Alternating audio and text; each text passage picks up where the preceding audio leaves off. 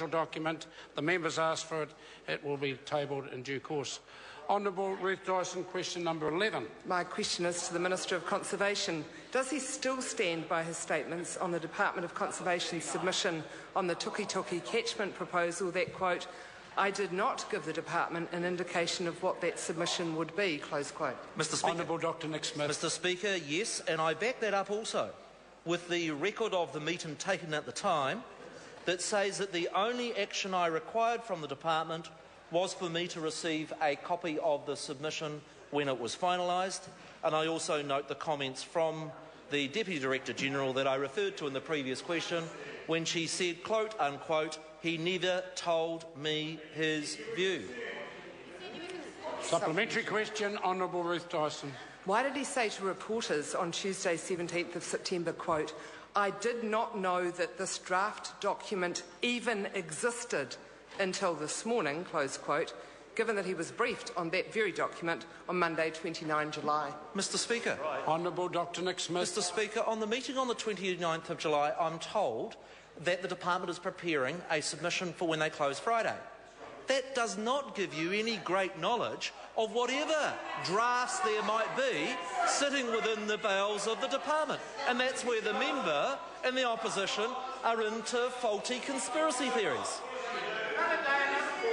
Um, point of order, Mr Speaker. Point of order, Honourable Ruth Dyson. Um, point of order. I seek leave to table the note from the weekly report explaining exactly what the content of the submission was. Well, The hasn't weekly this docu- that went order. the Order, Mr. Minister Speaker. for Order, hasn't this document been tabled earlier? Point of order. Mr Speaker. Point of order, Mr I'll Speaker. hear from the Honourable Dr Nick Smith. Mr Speaker, the very document that you have asked me to table that was asked Order. for... I'm hearing from the Honourable Dr Nick Smith. Mr Speaker, I'm hearing from the Honourable Dr Nick Smith. And if the member, Grant Robertson, wants to remain for the balance of question time, I suggest he remain in his seat and refrain. Mr Speaker, I'm... Order! I'll give the Honourable Annette King last chance. I am not prepared to pick up, put up with uh, con- constant bickering from the Labour front bench when I'm hearing the Honourable Dr Nick Smith. Mr Speaker, the document that the Honourable Ruth Dyson is seeking to table is the one for which you have already, that I was quoting earlier, that you have already asked me to table that I shall do so. I think it's also a document that was tabled prior to that from Eugenie Sage, so it's already been tabled in the House. Point of order, Mr. question Speaker. time. Point of order. I am talking to the Honourable Ruth Dyson. for that point of order because I'm now challenged on my right to table a document. The Minister, in his answers to earlier questions, question 10, referred specifically and quoted the Department was, quote, evaluating their project, then referred to an email from a departmental staff. Neither of those are in the document Order. I sought to table. Order. There may be some confusion because there's lots of documents being tabled at the moment. Earlier today, Eugenie Sage took leave to table the weekly ministerial update that had an item on this agenda. I took it when Ruth Dyson attempted to table a document. She was attempting to uh, table exactly the same. Could the member, Ruth Dyson, please clarify? Um, Mr Speaker, my comments were in relation to the comments that Nick Smith made. I asked that he be required to table the documents he referred to in his primary Order, and that's- supplementary. order, that's he said been- that that was order. the same document that I was tabling, Order. and That- it's not. That, that has been clarified, and those documents will be tabled. The member then took a point of order seeking to uh, table a document which I believe Eugenie Sage has tabled perhaps 15 minutes earlier.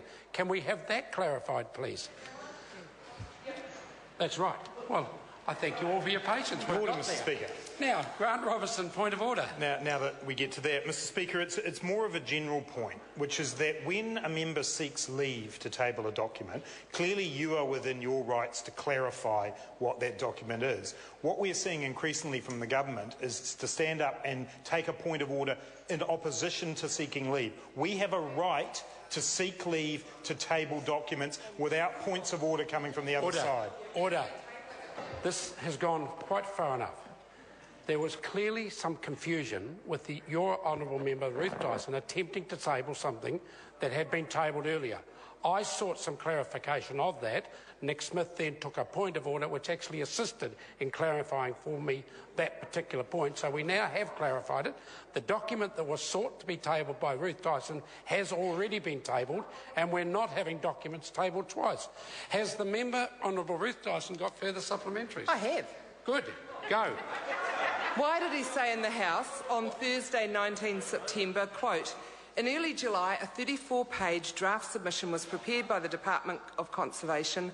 I did not know about that until this week, close quote, given that he was briefed on that very submission on Monday, 29 July. Honourable Dr Nick Smith. Mr Speaker, the draft submission, the 34 page one, the one that referred to the Tukituki River potentially becoming toxic, is totally different to the brief note that she has wanted to table. Yes, it does. It's totally different. And I simply quote again what Doris Johnston said. He never saw the draft submission that everyone is talking about. It was never provided to his office. And that is why I absolutely say I had no knowledge that that 34 page draft submission had been prepared. Order. Supplementary. Supplementary question, the Honourable Ruth Dyson. When item 5.4, Tukituki catchment proposal, came up at his weekly meeting with the Department of Conservation officials on Monday, 29th of July, did he express any opinions at all in relation to the Ruataniwha water storage scheme, the plan change for water quality standards, or the Department's proposed submission? Mr Speaker. Honourable Dr Nick Smith. Mr Speaker. Mr Speaker, I'm going to quote exactly that document because it is of some controversy. The department is evaluating the project. Submissions close the 2nd of August. The department's preliminary view is that there is not sufficient information. And I asked for more information and a copy of the submission. Now, that is exactly what a responsible minister would do. Supplementary question, Honourable Ruth Dyson. What was his reaction to being told that a senior DOC staff member has resigned because of his political interference in the submission process? Mr Speaker. Honourable Dr Nick Smith. Mr Speaker, I have absolutely no knowledge of that. Uh, what I was... Mr Speaker, Mr Speaker, I would make two points. The first is that on the 1st Order. of... Mr Speaker. Order. On the Member an 1st of. September, You should listen. as has been a subject of considerable controversy, hundreds and hundreds of staff changed position with the restructuring, and dozens and dozens of staff were given redundancy on the 1st of September as part of that restructuring. Uh, I have no knowledge that anybody associated with this controversy has resigned. Uh, what I further note is that nobody has resigned since this issue went into the public arena last Tuesday. Question number 12, Nicky Wagner. Thank you, Mr Speaker.